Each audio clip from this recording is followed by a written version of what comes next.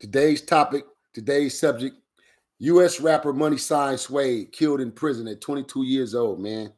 I'm coming in to give my commentation, my commentator on U.S. rapper Money Sign Suede, man, which was a Mexican Hispanic rapper signed to Atlantic Records, man. At 16, 17 years old, he been trying to put his music out here and get out here. He's a full-blooded Mexican. This is what I just got to talk about in my other video when I spoke on the crossover cultures and hip hop and hip hop opening doors and allowing other cultures to be able to express, you know, their music and express um, they form of their lifestyles as well, which is not a bad thing. Don't get me wrong.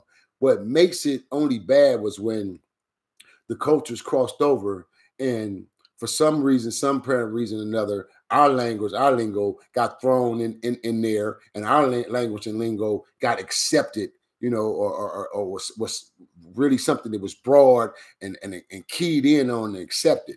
Mexicans, excuse me, Mexicans don't like to be called Mexicans, man. Ain't that some shit? You call a Mexican, a Mexican. What's up, my man? Hey, Mexican or, or a Cholo. You call a Cholo Mexican. Watch and see what the reflection be in the difference. It's gonna be a difference, bro. So it's like, why should we have to be so acceptance to any and every fucking thing, man? As a nation, as a as a African Asiatic nation, bro, not a black culture, not a black race. Why the fuck do we got to be so acceptance to any and everything? All the rest of the cultures play by certain rules and they still stick with their culture rules, man. They not all the way crossed over. Some are, but not the majority rest of them. They still play by their rules, and that don't make them a bad culture or make them bad. It's their culture. So this is what we on today, man. This kid right here, man. A U.S. rapper, man. Money Sign Suede. We're speaking on him today. He got killed in Soledad, right? And so let's go to show you guys, man, when I when I when I speak on, you know, the difference between the streets, hip hop era, as far as this rap era of hip hop.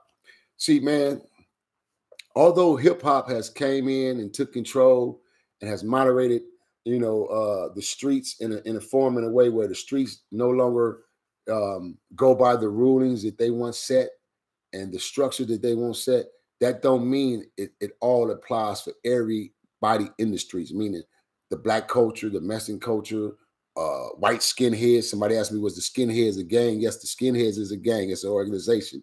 You know what I mean? Uh, all these things above, it doesn't exempt that. What happens is it shows that there's still some politics in place, man. Especially when you get behind the walls, you go to prison. There's still some politics in place. If there wasn't politics in place, this would have never happened to this kid. This kid would have never got hit like he got hit. He would have never got blast on. This kid got blast on. And what you mean by blast, that's the terminology phrase. That's prison talk. I mean, get getting hit with something, getting punched with something. He got hit. He got blast on. He got his his final mark wound, the, the murder wound that really killed him and hit him out was his vein. He must have got hit in one of his jugulars or one of his veins, man, because he got hit in his neck. And that's what bled him out and killed him. Staff didn't find him to hours later. They found him hours later. See, these things happens in prison, nigga. You can come up missing in action in prison. Nigga can kill you in the laundry room somewhere. They won't find you to count time. That's six or seven hours later because you was at work. Nigga can kill you in the kitchen somewhere and leave you. And leave you in one of them wash machines and one of them big ass dryers. You won't be found to count time. This shit happens, bro. You feel me? When real politics takes place in prison, man. So I want to read this, read what happened basically from CBS standpoint and from the um the writer standpoint as far as the uh the actual information that they obtained and the information that they provided to the public on what happened. I just told you the wounds that he sustained. The wounds he sustained were in prison. They were all knife wounds. He got hit like at least, at least 15 times. They say he got hit at least about 15 times that he got stabbed. When I when I use the word hit, it's the same word, same terminology phrase as stabbing. He got stabbed, I'm saying hit because that's the word that we would use in prison. They would say he, he was hit. And King King uh Fatal King Fatal 092. See, this is what I'm talking about, bro. I appreciate you for paying attention. And you absolutely right. This- I say this all the time. It doesn't make us selfish or make us a bad culture or a bad nation because we trying to stay as a nation. We trying to stay, you know, Asiatic and keep certain things amongst ourselves and our culture so we can teach our kids and teach our culture to keep the keep the pattern going. No, we don't do that. But soon, soon a cat like myself come along to speak on it is real. I'm crazy, or I'm talking crazy. You feel me? Or I'm angry. No, I'm just speaking facts, reality, man. So I appreciate that uh response right there, King Fatal uh 0292. Appreciate it. So yeah, let's go, man. Let's go. We're gonna jump right in this, and I'm gonna start reading this video, man, from US rapper Money Sign Suede, killed in prison at age 22. Mexican American rapper who was released, who released a popular debut album last year, uh, was found with his injuries consistent with the homicide in California prison. So basically, homicide saying that his injuries that they found and were sustained were homicide, murder, foul play. Wasn't no accident, no none of that. You know what I'm saying? So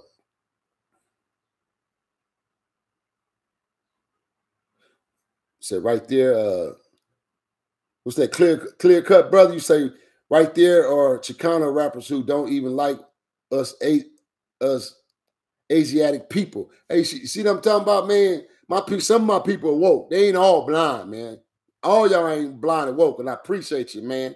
So look, Money Sign Suede, a fast rising Mexican American star who who amassed 10 millions of streams of his popular rap music has been killed at 22 years old following an attack in California prison, Soledad Prison. Officials from the California Department of Corrections, remember I told y'all it's the difference between Department of Corrections and actual prisons.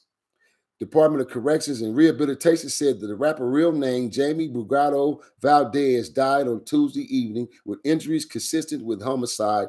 He was being held in prison in Soledad. He was in Soledad prison.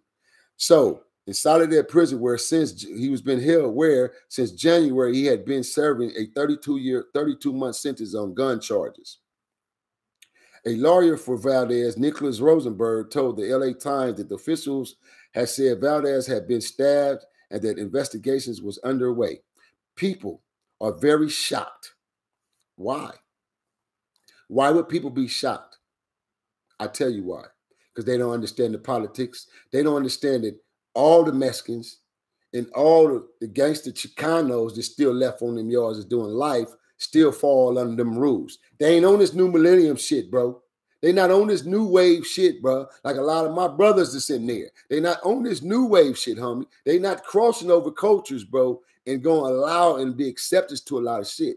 So this young kid apparently went in as a 22-year-old rapper, buzzing the name out here, and he was using the N-word in his music. I heard him say it. More than likely, his situation came from in-house. He had a problem with in-house. And what I mean by in-house, his own kind, his own people. They must have gave him with some structures, some structures and rules, and told him that he gonna have to go by. And being that he was from this new generation and he's 22 years old, he probably rebelled and told them, fuck y'all, fuck that. I ain't going by this this politics shit that, that y'all trying to tell me to be by, man. Blacks is my homies. I fucks with blacks. Them niggas is my homies. He probably went there, not understanding the situation he in. That means somebody didn't school this youngster and get at him before he hit that yard. That means he ain't never walked no yard. He ain't never been in prison, obviously, because he didn't understand his own culture of politics. The only reason why this young kid can come up missing in action like that and come up hit that many times, it was done in-house. It had to be something in-house. What I mean by in-house, his own kind, his own people. The yard is split up. It's broken up to 50-50 almost, practically. You got 50% Norteñans, and what I mean by Norteñans, Northern Mexicans, Northern Hispanic Mexicans they bang from Northern California. They don't get along with Southern California Mexicans. Southern and Northern go to war. They go at it. I mean, on site, they goes at it. It's been this way for decades. So the yard is primarily split up and split in half with 50-50 Norteñans and 50-50 Serenos. So you got South Sides and you got Norteñan uh, Hispanic uh, Mexicans and uh, North uh, Southern Hispanic Mexicans. So, oh shit, that's my battery. Okay, okay, okay. Let me hurry up. Let me hurry up, y'all. So, so therefore, um, you have to get consent. You know, you it's certain things in politics is gonna go down, man, with this. in order for anything to happen. So let me continue to read this real quick before I lose my battery over here on my YouTube. I need to get up right quick and plug it up. Um, so now it says um his prison sentence was two counts of firearm possession in Riverside. Oh no, no, let me go back. Valdez was born a Mexican Mexican immigrant, straight Mexican immigrant, not an American, Mexican immigrant. Valdez was born a Mexican immigrant. Parents was raised in the Huntington Park area of Los Angeles. I just own a condo out there. He began recording and uploading rap tracks from the age of 16. He was signed Atlantic Records while still in his teens. His breakthrough track, Back in the Back, Back to the Bag, was a rap scene hit after his release in 2020. In 2020, he had a busy year. He released was self-titled EP in March, followed his debut album. So the dude was putting in work. He was getting putting that work in, man. His prison sentence for two counts of firearm possession in Riverside County, California. He got caught up in Riverside. Roane County, brother. Roane County. Riverside County. Roane County. Orange County. Wrong two counties to be committing some crimes upon the man.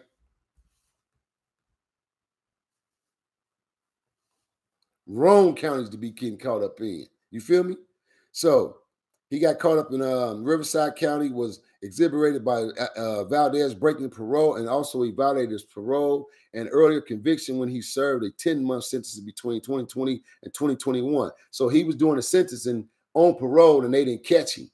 So he had violated his parole.